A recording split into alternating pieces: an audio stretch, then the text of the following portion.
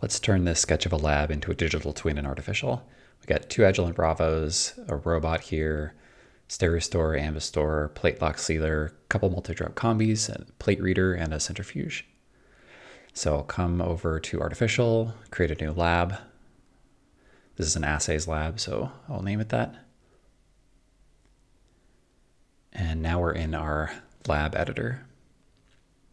So first thing I'm going to do is open up our asset library and start dragging in all the equipment. Let's start with the robot. We have a robot with a rail built in.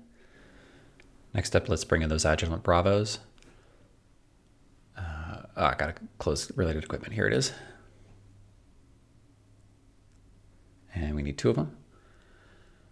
Next up, we'll get that Stereostore in here. And I'm just kind of loosely arranging things for now. We'll do a fine arrangement later. Let's grab the Ambistore. And that PlateLoc sealer. And we'll just kind of keep going down the list. So multi-drop combis.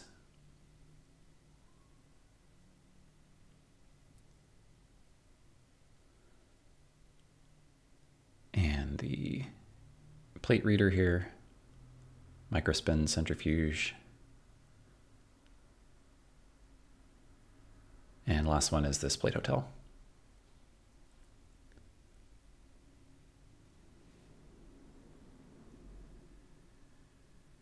Now that doesn't match the sketch, so I think we need this. Ah, yeah, there we go.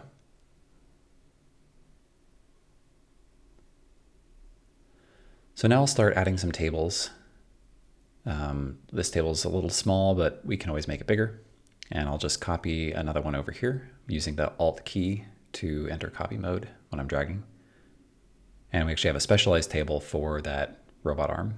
So I'll drag it in here and you can just drag and put this arm directly on top of the table. Oops. Let me grab the table, drag it back into the middle,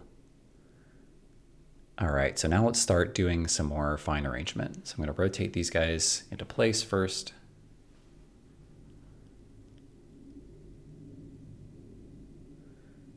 And I can go into details if I need to resize this. So let's set the width to like mm, two meters.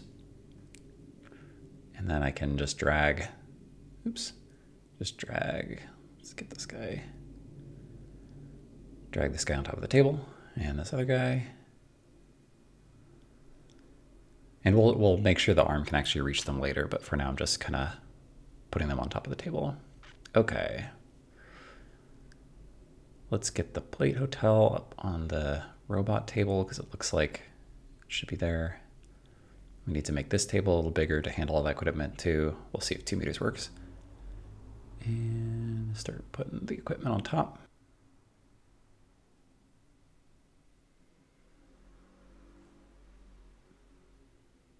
There we go. And I could I could probably group drag or group select and drag all these guys up there at the same time, but I'm just doing them one by one.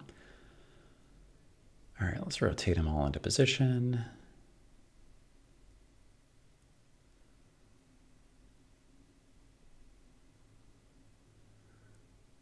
Just kind of see if we can fit them all up here.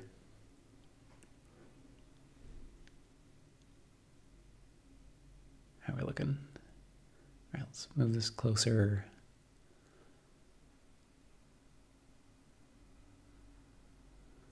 Oh, yeah, we should probably put the centrifuge on the table. So I gotta scoot these over. And again, I could either drag select to kind of move them all over, but uh, I'm just gonna move them one by one because it's a little easier. You can see this is, uh, each of these are actually snapping to the edge of the table as well to make it a little bit easier to position them and not have them hanging over the edge. Eh, not quite enough space there. Let's snap this. There we go. Yep.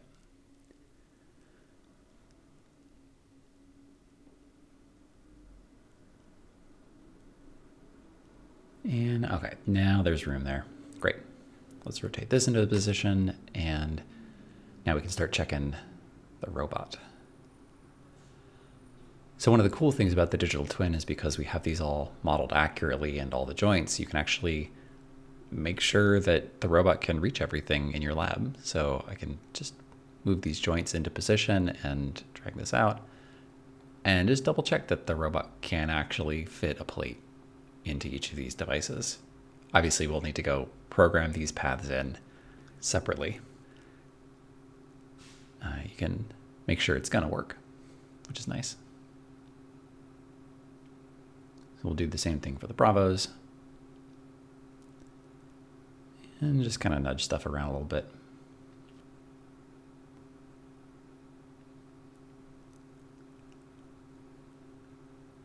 All right, last thing to do is to populate these storage units. So I'm gonna go and use these uh, capacity 10 plate hotels in here. And for this, I'm gonna use a special feature, which you can put it into copy mode by holding Alt, and then I'm just gonna hit spacebar to paste. And then I can just kind of drag this around and paste it into each slot. I can't quite get all the slots, so I'm going to rotate that center unit so I can actually see the rest of the slots. Here we go. And I'll just keep pasting these around.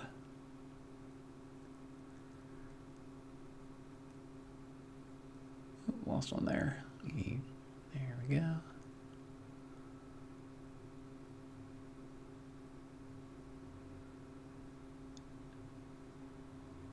You can see this makes it way easier than having to drag each one in. All right. That looks good. Got one in every slot, nothing else sticking out there. And okay, let's put these guys into this other carousel too.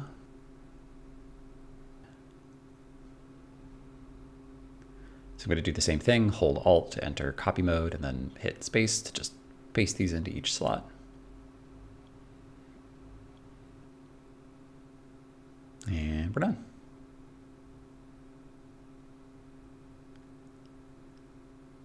Yep, uh, looks okay. Let me, looks like we got an extra one there. Just delete that and move it over. Okay, great. So that looks pretty good. Uh, let's double check the sketch. And we got everything. Looks great. The Lab's now ready to use with assistants or workflows.